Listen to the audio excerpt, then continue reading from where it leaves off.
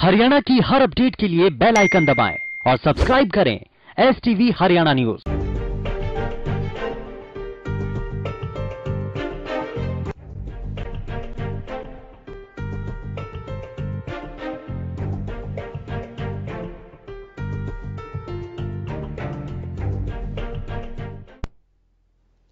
किसानों ने अपने वादे के अनुसार महिला दिवस के मौके पर पूरी कमान महिलाओं के हाथों में सौंपी। महिलाएँ ट्रैक्टर ट्रॉलियों को खुद चला करके किसानों को समर्थन करने बॉर्डर पर पहुँची। महिला दिवस के मौके पर महिला किसानों ने यह ऐलान किया कि जब तक कृषि कानूनों को वापस नहीं लिया जाता, तब तक वो किसानों के साथ इस आंदोलन में शामिल रहेंगी।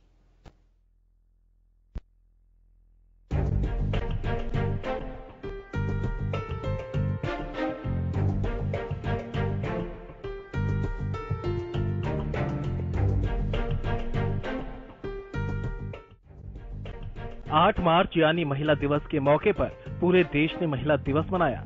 तो वहीं दिल्ली की सीमा पर बैठे किसानों ने भी अपने कहे अनुसार सोमवार को महिला दिवस मनाया। इस दौरान हर जगह आंदोलन का संचालन पूरी तरह से महिलाओं ने ही किया। एक एक कर आपको उन सभी जगहों की तस्वीरों से रूबरू कराते हैं, जहाँ महिलाओं ने मोर्चा खोला।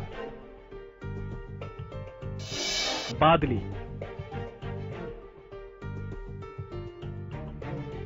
ढांसा बॉर्डर पर चल रहे किसान आंदोलन में किसान महिलाएँ हरियाणवी वेशभूषा के साथ आंदोलन स्थल पहुँची। महिलाओं ने कहा कि महिला दिवस के मौके पर किसानों को समर्थन देने पहुँची है।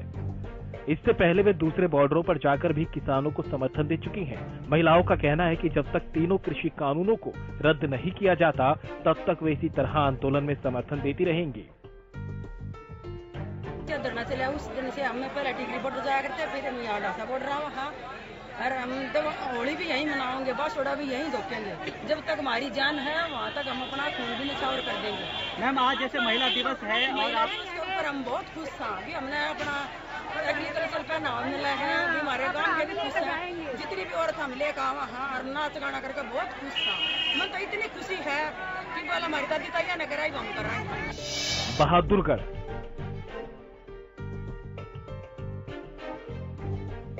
बहादुरगढ़ के टीकरी बॉर्डर पर भी संयुक्त किसान मोर्चा के आह्वान पर अंतर्राष्ट्रीय महिला दिवस मनाया गया। इस दौरान महिलाओं ने सरकार पर तानाशाही करने के आरोप लगाए। महिलाओं को भी जंग के मैदान में आना पड़ा। पंजाब हरियाणा की महिलाएँ किसानों के साथ खड़ी हैं और कानून वापसी तक किसानों के साथ ऐसे ही खड़ी रहेंगी। सरकार की तानाशाही है, वो दिन प्रतिदिन जो बढ़ रही है, वो तानाशाही को रोकने के लिए महिलाओं को जो है जंग के मैदान में, जैसे पुरातन काल में भी आते हैं, आज भी उसको जंग के मैदान में उन लोगों को आना पड़ा ताकि जो सरकार बोल रही है फिर माँ बहनों को घर में भेज दो, उसको खतरा है कि अगर पंजाब, हरियाणा की माए बाई सड़क पे आ गई तो हमारी सरकार को हिला देंगी। इसीलिए उस सरकार को चेतावनी देने के लिए पंजाब, हरियाणा और सभी स्टेट की जो महिलाएँ हैं, एकजुट होकर, किसान भाइयों के साथ खड़ी हैं और तीनों कानून रद्द होने तक जहाँ पर खड़ी रहे। तो वहीं एक और महिला किसान ने कहा कि सरकार को तीनों कृषि कानून वापस लेने होंगे। किसान के पास खेती के अलावा कुछ नहीं और किसान अपनी खेती बचाने की लड़ाई लड़ रहा है। इन कानूनों से सिर्फ़ किसानों को ही नहीं, बल्कि पूरे देश को नुकसान होगा। कारण मोदी जी ने काले कानून ला के और जो हमारी खेत खोसने की कोशिश की है, हम उसको कामयाब नहीं होने देंगे।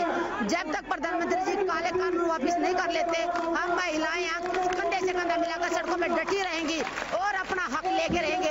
सोई हुई सरकार जब तक जाग नहीं जाती, हम चैन से नहीं सोएँगे। मोदी जी को एक दिन हमारा हक देना होगा, आज नहीं तो कल मोदी जी को तीनों काले कानून वापस लेने होंगे, क्योंकि किसान अपने नस्ल और फ़सल बचाने की लड़ाई लड़ रहा है।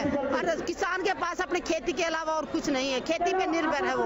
तो जब तक किसान के पास खेती नहीं होगी तो किसान कहाँ से कहलाएगा? और जो लोग ये सोचते हैं कि किसानों की लड़ाई है, ये लड़ाई हर इंसान की लड़ाई है। आज अगर कृषि की उद्योगपतियों के हाथों में चली गई, आटा तीस रुपए किलो है तो वो तीन सौ रुपए किलो हो जाएगा।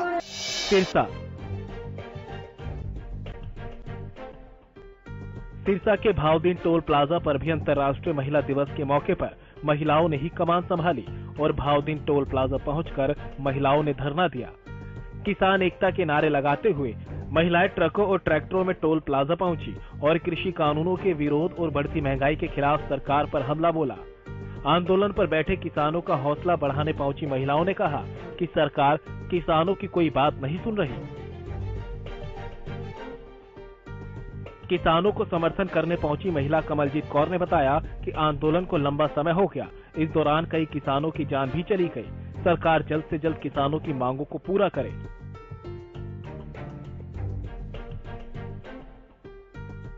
सरकार हमारी जो मांगे हैं, वो पूरा करे। अब बहुत दुख होता है जब कोई जवान हमारा शहीद होता है और जब कोई किसान हमारा शहीद होता है। तो बहुत हृदय में दुख होता है, इसीलिए मेरी बेनती है कि हमारी मांगों को जल्द से जल्द पूरा किया जाए। गोहाना। गोहाना की सड़कों पर महिला संगठनों ने प्रदर्शन किया और कृषि कानूनों के विरोध में गोहाना से महिलाएँ खुद ट्रैक्टर चलाकर सैकड़ों की संख्या में सिंघू बॉर्डर के लिए निकली। महिलाओं ने कहा कि वे किसानों का समर्थन करने के लिए घरों से निकली हैं और जब तक कृषि कानूनों को वापस नहीं लिया जाता, तब तक वे किसानों का समर्थन करती रहेंगी। किसान रोज कुछ नया करके सरकार का ध्यान अपनी तरफ़ खींचना चाहते हैं। महिला दिवस के मौके पर महिलाओं ने आंदोलन की कमान संभाली। किसानों का साफ़ कहना है कि सरकार चाहे महीनों बाद सुने या सालों बाद, लेकिन वे तभी वापस लौटेंगे जब कृषि कानून वापस लिए जाएँगे। Bureau report, Haryana news.